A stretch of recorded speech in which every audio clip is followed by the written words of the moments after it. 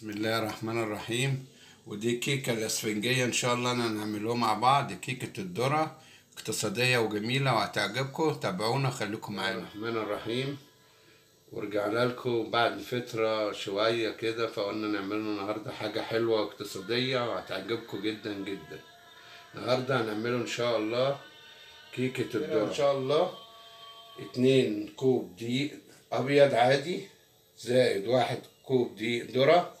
اللي هو في مقدار ال- ال mug ده. اتنين كوب دقيق أبيض زائد واحد كوب ذرة زائد واحد كوب سكر زائد تلات بيضات زائد سمسم زائد baking powder زائد فانيليا. طبعا هنشوفوا دلوقتي هنعمله إيه مع بعض؟ هنجيب ال baking powder نحطه على الدقيق ندخله في بعض كويس. والثلاث بيضات في الخلاط. الموضوع سهل وسريع وجميل. وهنضيفه كوب الحليب.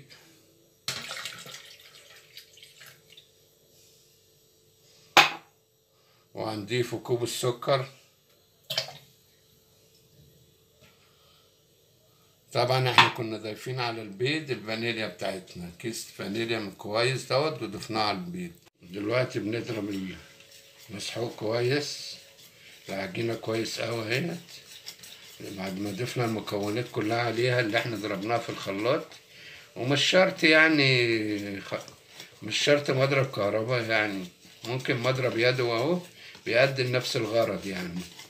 كويس أوي أهم حاجة فين بقى كده بسم الله ما شاء الله قوام العجينة جميلة أهو. بصوا القوام عامل إزاي؟ مش تقيلة لو تقيلة هتطلع مكتومة. نفس المقادير اللي إحنا حطيناها هي دي. ما تزودش ولا تقلل. يعني المقادير دي متجربة قبل كده كذا مرة وطالعة في منتهى الجمال. بصوا القوام الجميل إزاي عامل إزاي؟ هنا جبنا الصينية بتاعتنا ودهناها متى ادي القوام بص عامل إزاي. بص منظره شكله جميل. بسم الله ما شاء الله. تطلع كيكة إن شاء الله جميلة هتعجبكم جدا.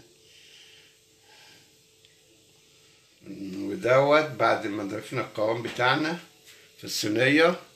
وانتوا شايفين شكلها عامل إزاي؟ بسم الله ما شاء الله جميلة هتعجبكم جدا. هنضيفوا بقى شوية سمسم نجملوها من فوق الوش كده.